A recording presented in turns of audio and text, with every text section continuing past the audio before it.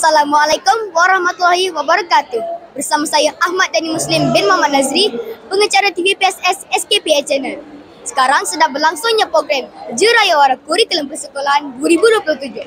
Program ini berlangsung dari 25 hingga 27 Julai 2024 bertempat di Maidin Mall, Gong. Jom kita saksikan apa yang menarik di sini.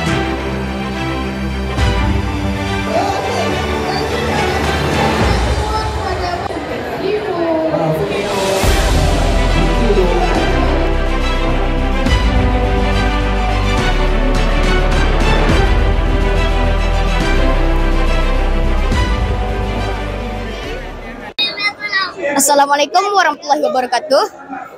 Uh, anda dari sekolah mana dan apakah aktiviti yang diadakan uh, di Reruai ini? Uh, saya dari sekolah SK Bukit Kasih. Uh, dekat sini ada aktiviti robot soccer, ada aktiviti mewarna, ada aktiviti untuk membuat animasi. Alright, okay, terima kasih.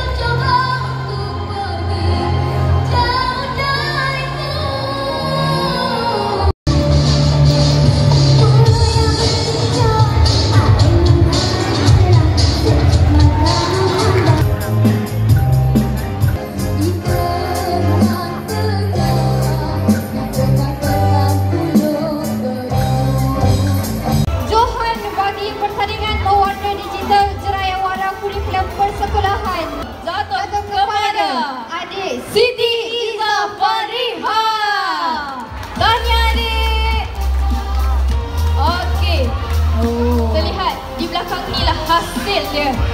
Wan, satu. Didoakan soalannya senang. Semoga dapat. Apakah perkataan seerti Joraya Wara? Merah. Pameran. Yeah. Ni yang ada warna-warna.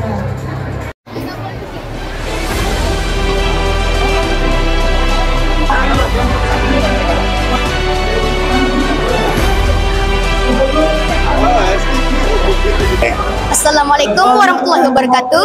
Sekarang saya bersama dengan Tuan Haji Jilani bin Sulong, Pengarah Pendidikan Negeri Terengganu. Assalamualaikum Tuan. Salam Nani, apa khabar? Alhamdulillah sihat, Alhamdulillah.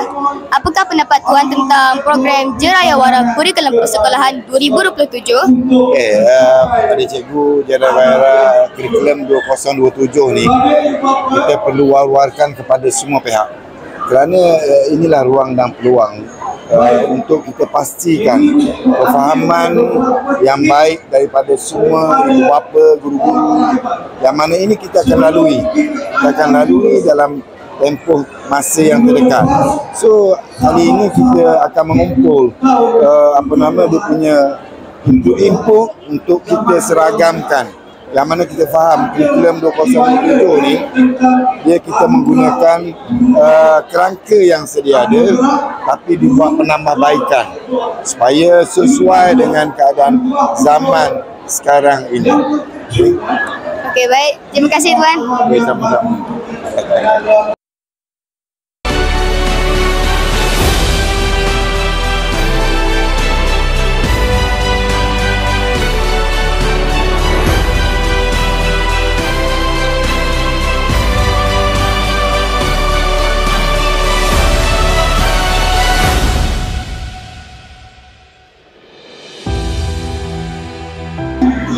Sekarang saya sama dengan Tuan Nur Haziruddin.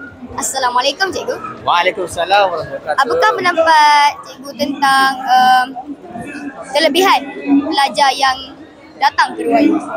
Okey, sangat uh, banyak kelebihan pelajar-pelajar yang hadir ke Jerayawara Kurikulum Persekolahan 2007 di Terengganu ini.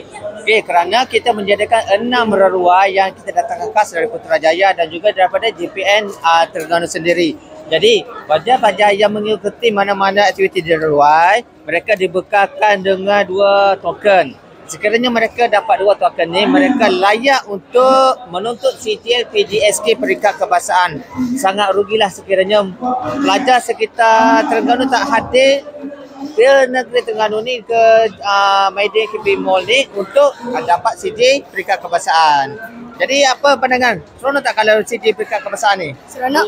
Okey. Itulah kita harapkan semua pelajar hadir ke uh, My ni untuk sama-sama tebus peringkat kebahasaan. Okey, terima kasih Cikgu. Sama-sama.